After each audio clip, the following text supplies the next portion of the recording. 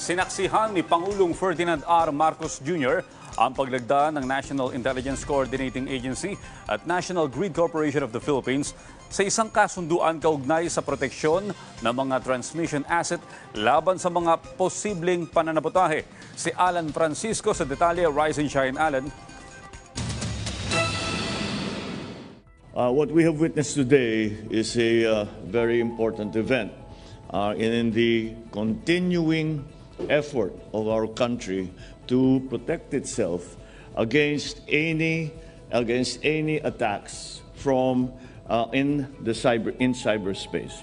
Yan ang binigyang diin ni Pangulong Ferdinand R. Marcos Jr. nang saksihan niya ang paglagda sa Memorandum of Understanding sa pagitan ng National Grid Corporation of the Philippines at National Intelligence Coordinating Agency sa Palasyo. Ayon sa Pangulo, mahalagang hakbang ang MOU para maproteksyonan ang mga naipong datos at impormasyon. Unang naiulat noong 2019 na napasok ng China ang NGCP na pinabulaanan at sinabing nagisilbi lang na technical advisor ng NGCP ang State Grid Corporation of China.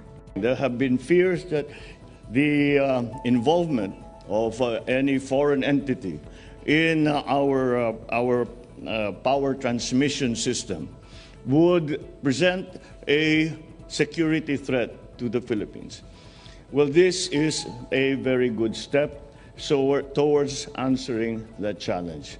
It is but one step because we are continuing to do this not only with NGCP, but we are developing our cyber systems so that we are secure and so that uh, the data that, uh, uh, that we need uh, to collect and to disseminate is available to us and we are able to do and handle that data in a secure fashion without the risk of uh, it being used somehow against the Philippines.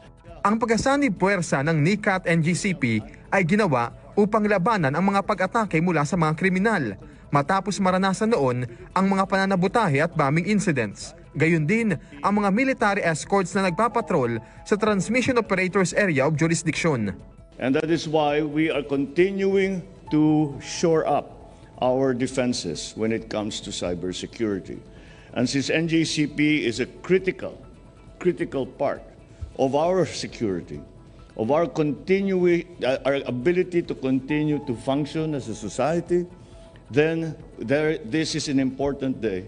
Because now we have defend, we have made ro more robust the defenses against any possible attacks on our power systems, on any other of the uh, uh, elements in uh, our everyday lives that require power and for that matter that require the exchange and this of secure information amongst ourselves in society.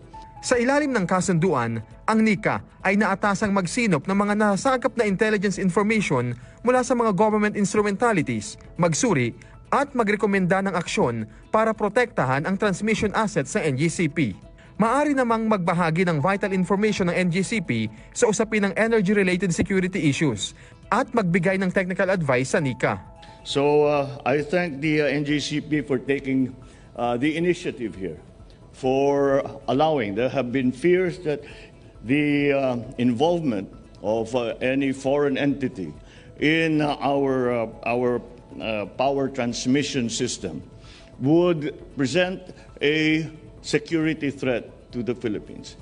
Alan Francisco para sa Morning Show ng Bayan, Rise and Shine, Pilipinas.